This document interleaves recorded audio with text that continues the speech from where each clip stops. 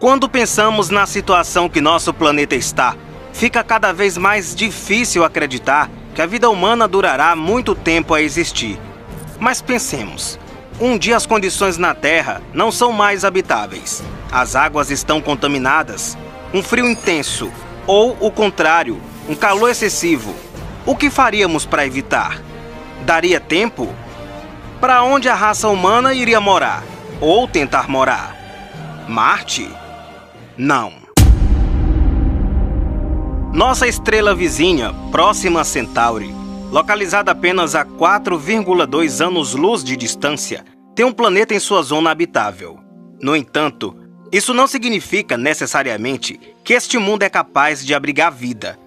Para saber se este é o caso, os cientistas precisam determinar as características da atmosfera do planeta. E o novo estudo agora sugere que será necessário enviar uma missão para conferir as propriedades atmosféricas bem de pertinho. É, esse planeta orbita uma estrela que é uma estrela anã vermelha. O que quer dizer isso? É uma, uma estrela que é muito ativa, é uma estrela que tem seus problemas de emissão de radiação e tudo mais, e tudo isso pode interferir no planeta, principalmente na questão de vida do planeta, na habitabilidade desse planeta. Não é à toa que desde lá até agora, até há pouco tempo, agora até um mês atrás, saíram estudos. Os astrônomos tentam entender como que é o clima que eles chamam da estrela. Uma das principais maneiras de caracterizar um exoplaneta é através do trânsito planetário, que consiste em analisar o espectro da luz que atravessa a atmosfera do planeta quando este passa em frente à sua estrela. Outro método é o de velocidade radial, na qual se observa os aspectos de estrelas em busca de sinais de oscilação, de modo que a estrela move cada vez mais para longe da Terra. Isso é causado pela influência gravitacional dos planetas que orbitam a estrela. Por isso, o método também permite calcular a massa dos planetas. No caso de Próxima B, os astrônomos usaram o segundo método, por a estrela ser de baixa massa e menos brilhante, do tipo M, anã vermelha.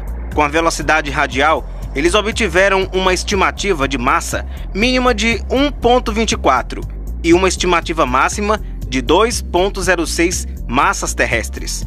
Mas será que esse planeta pode mesmo sustentar formas de vida? Como que a radiação dela pode interferir na habitabilidade? Por quê? Porque o próximo Bzinho, na verdade, ele está ali na zona habitável da estrela, mas na, de uma estrela que é, tem, é meio complicado viver ao redor de uma anã vermelha. Então isso aí meio que caiu um pouco a, a expectativa até de encontrar vida e tudo mais. Tudo bem que as imagens, os, as imagens não, né? As concepções artísticas são maravilhosas, né? Mostrando ali todas as montanhas de próximo a Bezinho e tudo mais. Mas a vida ali, se existisse, né? Ou se existiu, ou até mesmo se a gente for para lá, não vai ser algo fácil, como não é algo fácil orbitando uma anã vermelha. Para responder à pergunta, vários estudos tentaram usar o trânsito planetário, porque ele permitirá estudar a composição atmosférica, mas nenhum trânsito foi confirmado. Existe um estudo que está sendo optado por usar dados já coletados pelo telescópio Transit Exoplanet Survey Satellite, ou UTESS, e novo conjunto de algoritmos. A dificuldade na detecção é que erupções na estrela podem ser bem intensas, de modo que as observações de sua curva de luz ao longo do tempo podem ser pensadas principalmente como uma superposição de muitas chamas. Os autores identificaram os flares usando um algoritmo personalizado e os removeram dos dados para depois procurar sinais de trânsito. Eles também inseriram trânsitos falsos na curva de luz da estrela para testar se o algoritmo era sensível o suficiente para encontrar os verdadeiros. O resultado? Eles não encontraram evidências de trânsito na estrela. O que significa? Será que o planeta na verdade não existe? Não é isso.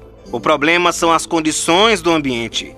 E a grande diferença é que essas estrelas são parecidas com o Sol. Então você tem estrelas próximas do Sol, parecidas com o Sol. De acordo com os pesquisadores, qualquer exoplaneta na zona habitável de Próxima Centauri teria que medir menos de 0,4 a 0,5 raios terrestres, semelhantes a Marte, para serem detectados. O planeta Próxima B mede 0,68 e 2,5 raios terrestres, ou seja, não pode ser detectado através do trânsito planetário. Mesmo que o outro método, velocidade radial, tenha sido útil para confirmar a existência do planeta e determinar sua massa, não é tão eficiente para estudar a atmosfera. Tudo isso significa que os cientistas terão que enviar uma missão até o planeta, se quiserem mesmo descobrir como é a atmosfera por lá e se ele é habitável ou não. Imagina o que não vai acontecer quando os grandes telescópios, aí os telescópios extremamente grandes que a gente fala, os telescópios de próxima geração, estiverem funcionando. Só o ELT do Chile ali, né, o que vai vai complementar ali o VLT, né, o Extremely Large Telescope. Só o espelho dele tem 39 metros de diâmetro. Se coloca um coronógrafo ali, você vai poder ver com muito mais detalhe, vai poder ver com muito mais certeza esse tipo de planeta. Quem sabe até descobrir exoplanetas, mais exoplanetas nessas estrelas mais próximas do Sol, parecidas com o Sol. E isso é que os astrônomos estão muito empolgados, porque, como eu falei, a próxima Centauri, embora né, seja a estrela mais próxima, ela é uma estrela que é muito diferente do Sol. Essa é uma notícia quase que desanimadora. Mas para chegar em Próxima Centauri na velocidade da sonda Voyager, por exemplo, a única sonda humana a atingir o espaço interestelar, uma espaçonave levaria 16 mil anos. Este não é um ponto final no assunto, entretanto. Os autores do estudo dizem que os instrumentos de próxima geração, como o James Webb, que já está em operação, e o Vera Rubin, poderão sim beneficiar das técnicas de aprendizado de máquina. O algoritmo da equipe pode ser útil no futuro para remover os ruídos de estrelas na busca por novos exoplanetas perto de nós. Nas últimas décadas, planetas têm sido descobertos aos borbotões, até aqueles que se parecem com a Terra, mas esse último é especial. Além de ser rochoso, ocupa uma zona dita temperada, que em tese permitiria a existência de água em estado líquido.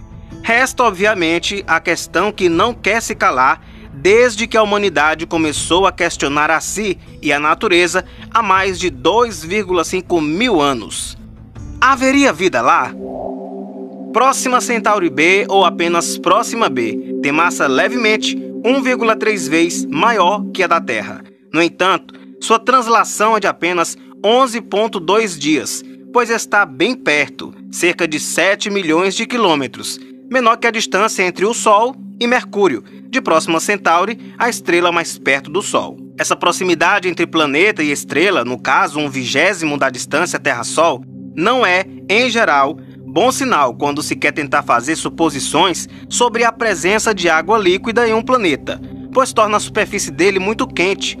Mas nesse aspecto, Próxima Centauri tem uma vantagem: é pequena, com apenas 12% da massa do Sol, sendo por isso classificada como anã, por sinal, o tipo de estrela mais abundante da Via Láctea. Próxima B foi descoberto pela equipe de Guillain Anglaba Escudé, da Universidade de Londres, no Reino Unido, com base no bamboleio gravitacional que o planeta causa na órbita de sua estrela.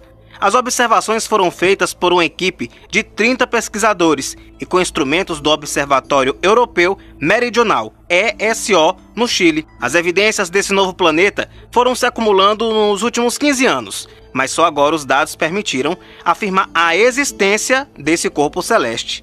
Outra questão pendente sobre Próxima B são condições de sua atmosfera.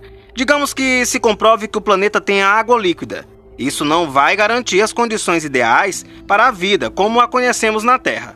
Lá, pois uma anã vermelha é muito ativa e por conta disso, o novo planeta recebe cerca de 400 vezes mais radiação, raio-x, do que a Terra. Próxima B tem campo magnético que, como na Terra, age como um escudo contra esse bombardeamento? E se a atmosfera de Próxima B for de gases venenosos? Não se conhecem ainda as respostas para essas questões, mas se sabe que anãs vermelhas têm uma vida média muito superior à do Sol, ou seja, vivem muito mais do que nossa estrela. Então, pode ser que no longo prazo surjam condições para a vida lá. Anãs vermelhas são as estrelas mais comuns na Via Láctea. Então, se Próxima B reservar alguma surpresa, algo semelhante poderá ser buscado em uma imensidão de locais na galáxia. Há técnicas para determinar se um planeta tem ou não atmosfera. Isso é feito, por exemplo, quando ele passa na frente de sua estrela e a luz desta interage com os elementos químicos atmosféricos, alteração que pode ser captada por instrumentos aqui na Terra ou em equipamentos espaciais. Mas especialistas dizem que no caso de Próxima B, as chances de essa técnica responder à pergunta são baixíssimas. Além disso, nem mesmo se sabe se Próxima B executa tal trânsito. Vale repetir: as anãs vermelhas são as estrelas mais comuns na Via Láctea. Então, se Próxima B reservar alguma surpresa, água líquida, atmosfera adequada ou mesmo sinais de vida, algo semelhante poderá ser buscado em uma imensidão de locais na galáxia. Chegar até Próxima B e é missão quase impossível no momento. Aquele corpo rochoso está a cerca de 4 anos-luz de nós, perto para as dimensões astronômicas mas isso significa cerca de 40 trilhões de quilômetros. Se uma nave pudesse, o que não é possível, viajar à velocidade da luz ou 300 mil quilômetros por segundo, tal deslocamento levaria ainda assim 4 anos. Marte fica a menos de um ano de viagem. Daqui, e já é uma dor de cabeça em termos de tecnologia e logística. Imagine então, e nos dois próximos anos, a NASA, a Agência Espacial dos Estados Unidos, deverá lançar satélites e telescópios espaciais com mais tecnologia. Será a chance de tentar responder a várias destas perguntas e estudar um planeta que até este momento é o melhor modelo de Terra que nós temos. Não há nada que indique a existência de vida fora do nosso planeta, nem mesmo um relato real de disco voador Caso haja vida inteligente fora do planeta Terra, ela estaria longe do nosso planeta. Afinal de contas, a estrela mais próxima fica a 4,2 anos-luz, o que faria alguém levar mais de 4 anos para chegar por aqui, caso alcançasse a velocidade da luz, o que é considerado impossível pelos cientistas. Mas afinal de contas, o que a escala de Kardashev diz sobre isso? A escala de Kardashev foi criada para funcionar como um sistema de avaliação de civilizações alienígenas hipotéticas, que as divide em diferentes categorias com base na energia que eles podem produzir, controlar e utilizar. A versão original apresentava apenas três tipos de categorias, mas hoje já conta com mais algumas delas descritas. Também conhecida como Teoria de Kardashev, a escala foi criada em 1964 pelo astrônomo soviético Nikolai Kardashev. Ele propôs que o status de uma cultura depende principalmente da energia e tecnologia. Para ele, o avanço técnico de uma civilização é paralelo à energia que consegue produzir e manipular. Portanto, quanto mais energia produzir, mais tecnologicamente avançada a sociedade seria. Para iniciar o assunto, esse conceito era relacionado principalmente à energia disponível para a comunicação, mas já se expandiu desde aquela época. Assim, em um sentido mais amplo, a escala propõe que a relação entre a tecnologia e a energia são responsáveis pelo desenvolvimento de uma cultura. Com a tecnologia, a energia é produzida e expressa através de sistemas sociais. Agora, a escala original tinha três níveis, mas foi ampliada por cientistas para considerar onde civilizações hipotéticas e, claro, a nossa se encaixam. Mas o que diz a escala de Kardashev? A escala foi publicada originalmente em 1964 em russo, mas logo foi traduzida para o inglês. Kardashev a formulou considerando tanto a relação entre a energia e a tecnologia para uma civilização quanto as consequências disso. Quanto mais energia esta civilização puder acessar, melhor será sua tecnologia.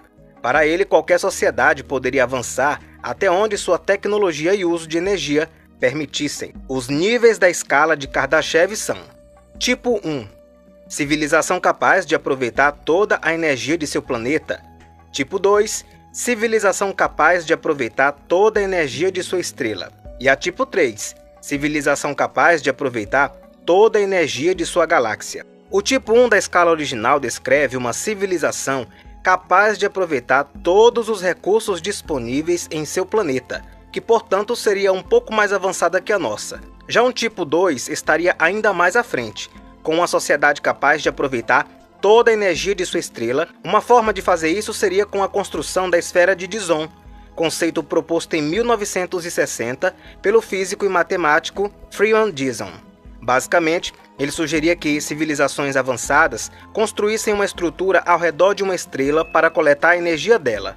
Até o momento, isso é impossível de fazer com os recursos dos quais dispomos. Por fim, o tipo 3 é o último proposto por Kardashev, no qual teríamos uma civilização capaz de obter energia de sua galáxia, algo cerca de 10 bilhões de vezes acima de que uma civilização do tipo 2 conseguiria produzir. Essa sociedade hipotética já teria colonizado sua galáxia, extraído energia de centenas de bilhões de estrelas já poderia viajar pelo espaço interestelar e teria até ocupado centenas de planetas. Perceba que quanto mais se avança na escala, mais complexos ficam os requisitos tecnológicos. Uma do tipo 2, por exemplo, usaria esferas de Dizon regularmente e poderia até conseguir extrair energia de buracos negros. O sistema solar foi recebido com elogios e críticas dos cientistas, uma das vantagens da escala é que é focada nas formas de a humanidade detectar possíveis civilizações, não necessariamente no avanço tecnológico, que não poderia ser observado por nós, delas, por exemplo.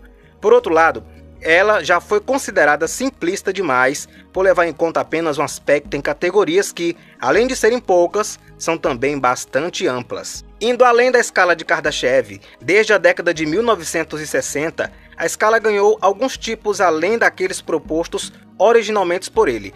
Um deles é o tipo zero, que descreve uma civilização que ainda não conseguiu utilizar toda a energia disponível em seu planeta.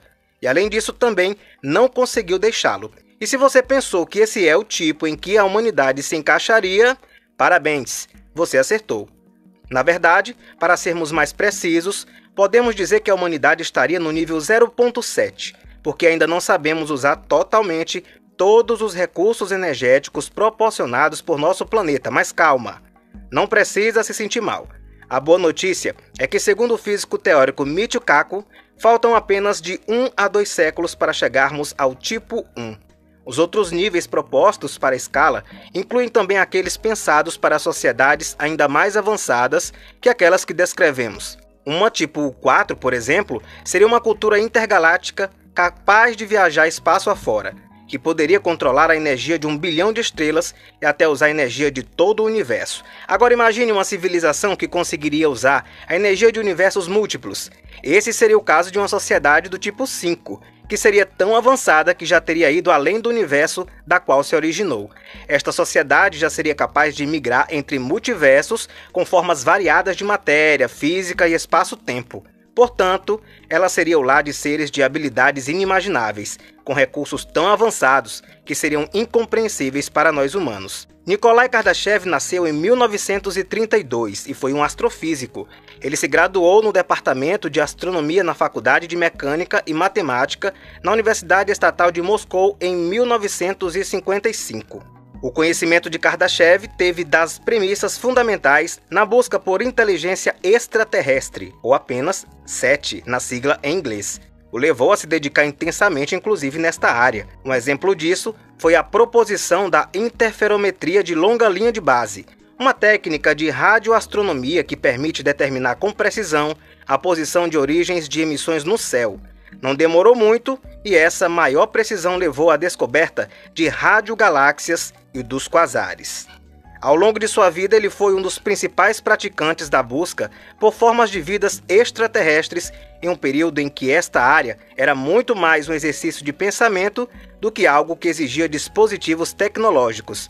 Assim, quando o assunto é 7, uma das maiores contribuições dele foi esta escala. Mas, sobretudo, além disso, há autores que consideram que a escala foi uma espécie de guia sobre o que esperar ao longo das buscas por seres extraterrestres, não um ensaio teórico e profundo sobre a natureza de possíveis formas de vida que talvez encontremos algum dia. E quanto aos cientistas, seguem discutindo as ideias de Kardashev. É certo que a escala continua funcionando no trabalho 7. O nome dele vai ficar Nikolai Kardashev faleceu no dia 3 de agosto de 2019, aos 87 anos. Gostou do conteúdo? Já se inscreve, clica no sininho em todas para a gente não se perder. deixa aquele like para fortalecer o canal e nos encontramos por aqui. Obrigado por sua audiência. Fica com Deus. A gente se encontra.